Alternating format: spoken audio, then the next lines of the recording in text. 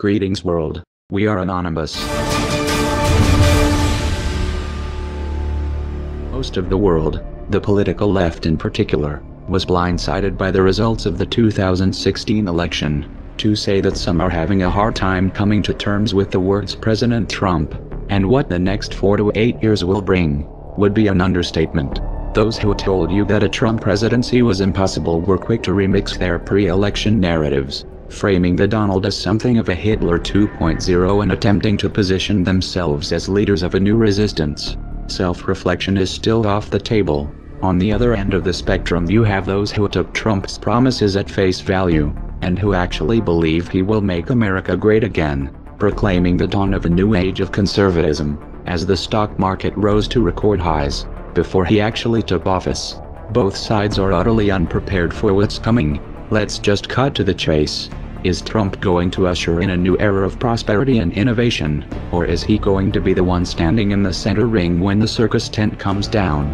Remember some voted for Trump as a political Molotov cocktail. Trump is a businessman. You say, he's going to make things happen.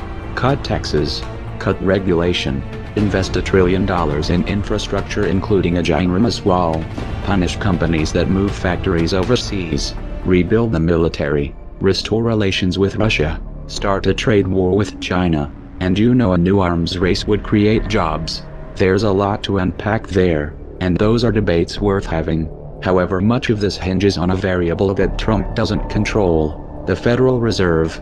The Federal Reserve has held interest rates near zero for close to a decade. They also engaged in quantitative easing from 2009 to 2014 accumulating $4.5 trillion worth of mortgage-backed securities and treasury notes. They are still holding those assets by the way. This inflated stock and bond market bubbles of historic proportions.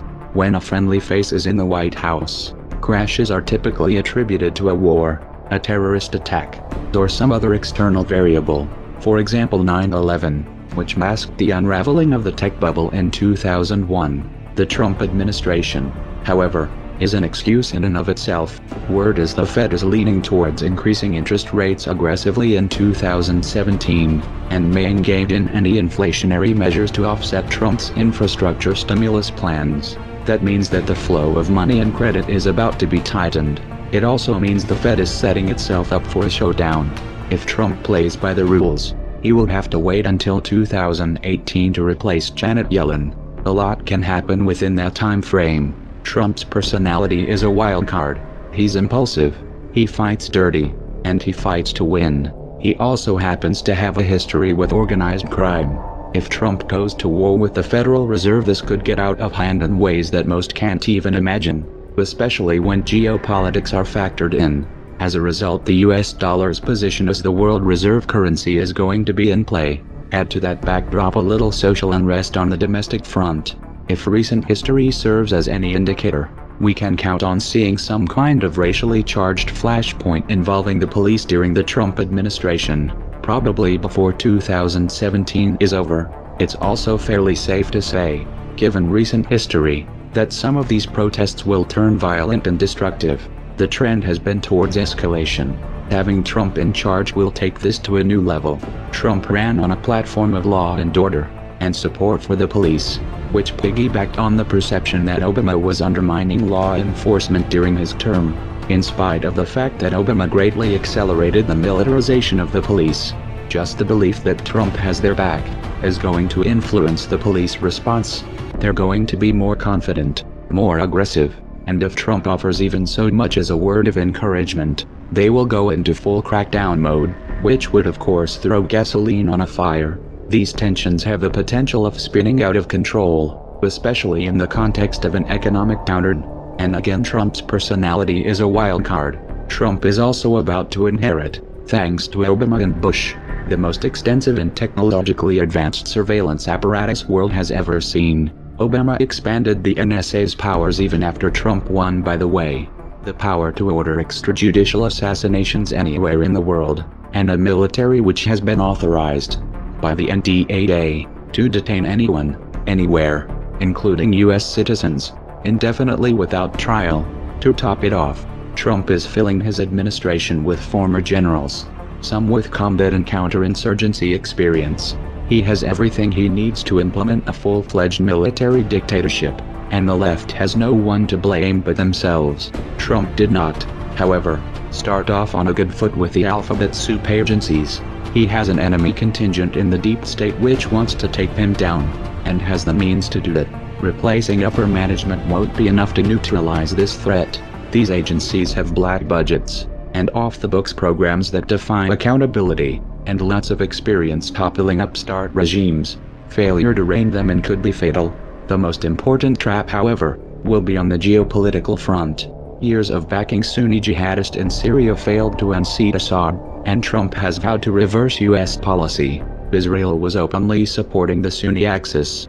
They wanted a full frontal regime change in both Syria and Iran for many years, but the Obama administration tied their hands. Then Russia stepped in, tipped the balance, and the Shiite crescent not only survived, but grew stronger. Israeli slash Sunni axis needs another path to war so they're changing tack. On January 13, 2017, just seven days from the inauguration, Israel bombed a Syrian government airport. This provides a glimpse of the years to come. Israel's strategy is simple. Provoke Syria and or Iran until one of them retaliates, which would of course provide cover to take territory. Turkey is likely to make another move in Iraq and or Syria as well. Turkey has ambitions to expand its borders as well, while the Saudis continue bombing Yemen to rebel. With US government support, Israel feels confident that Trump will defend them at all costs. Indeed he has given this impression. But will he take the bait? Here Russia is a wild card. What happens if Russia moves quickly to provide Syria and Iran with the means of defending themselves? What happens when Putin and Netanyahu are competing for Trump's ear? With all the other variables in play will Trump even have the means to influence the outcome in this region? Expect alliances in the Middle East to shift rapidly during the Trump years, with unexpected consequences. In particular watch for a play on oil that undermines the petrodollar. Making America great again was never on the menu. Trump wasn't supposed to win. He was supposed to be the decoy. This was reality television does politics. Literally. The Democrats thought he was so bad that he would take attention off of Hillary's baggage. So the Clinton campaign pulled strings with their friends in the media to help him in the primaries. We know this thanks to the John Podesta email leaks. We need to be elevating the Pied Piper candidates Trump, Cruz, Carson, so that they are leaders of the pack and tell the press to take them seriously. The DNC and their corporate media lackeys then worked to marginalize the Bernie Sanders campaign and used a secret agreement backed by leverage to prevent him from attacking Clinton. This was confirmed by the DNC email leaks. Oops. You can't unthrow a Molotov cocktail. So get your popcorn and buckle up. The show is about to begin. I will build the wall and Mexico is going to pay for it and they'll be happy to pay for it. I want to build a safe zone someplace in Syria. We have to get the Gulf states. They have nothing but money. We got to get them to fund it. We got to get them to put up the money. I will take care of women. I promise I will never be in a bicycle race. If I'm president, you're going to see Merry Christmas in department stores, believe me. I would knock the hell out of the oil areas. Would I approve waterboarding?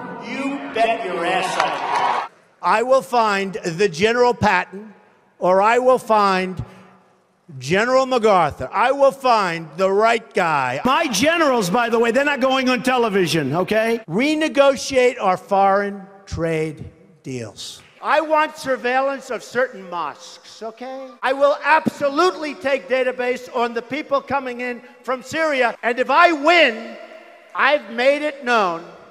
If I win, they're going back. We have to rebuild our infrastructure, our bridges, our roadways, our airports reduce our 18 trillion in debt. We are going to save Social Security, repeal Obamacare and replace it with something really, really great that works. End Common Core. I will take jobs back from China. I'll take jobs back from Japan. I'll take jobs back from Mexico. Sadly,